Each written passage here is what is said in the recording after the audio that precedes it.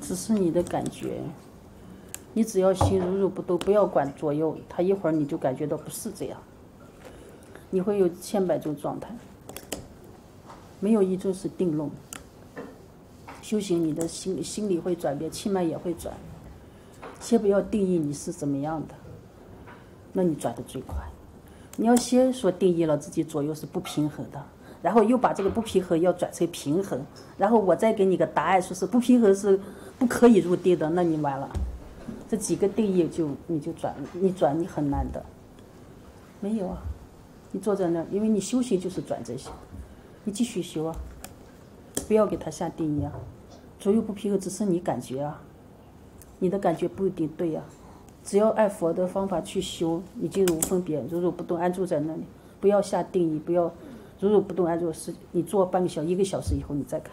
我们总是用心去调啊，就觉得，哎，反正也入不了定，我能不能调成这边过这边，这边过这边？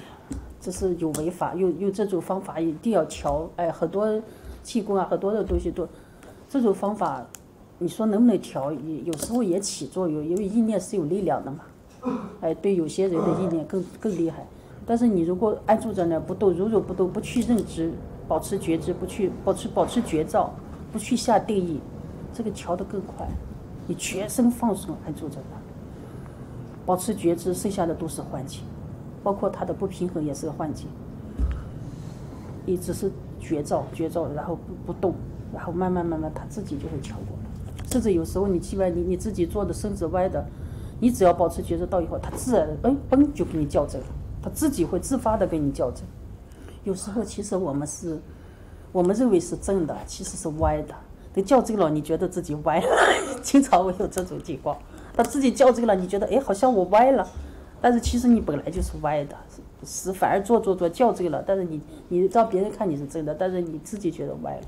你感觉不平衡和你真的不平衡是两码事，嗯，尤其说是能量不平衡，我还真找不到个理论咋来解释这能量不平衡。左边，你说这边气脉不通畅，这有可能啊，心平就行了。